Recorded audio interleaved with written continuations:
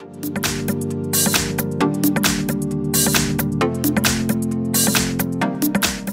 Hi everyone, in front of me I've got Samsung Galaxy Tab S8 and let me share with you how to allow unknown sources on this device. So first of all let's enter the settings and in this left, um, left section we have to scroll down to find the biometrics and security. Now let's scroll down to actually very bottom because here we've got the option install unknown apps, so let's enter.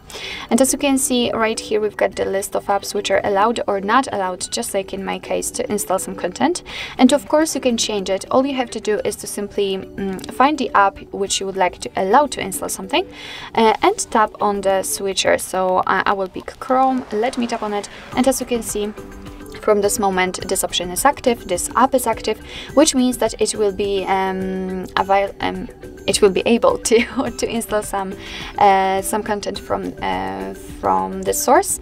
Uh, but be aware that you're doing it on your own responsibility because some third-party apps aren't verified by the developers, so they may put i mean you may put your data and your whole device at risk. Uh, of course remember about that and uh, it will work with all other apps so it means that you can find the messages and just tap on the switcher and they are active right now. Of course you can remove all of the permissions whenever you want to. Just tap on this um, switcher again to turn them off. So actually this is it, this is how to allow unknown sources in your Samsung Galaxy Tab S8. Thank you so much for watching, I hope that this video was helpful and if it was, please hit the subscribe button and leave the thumbs up.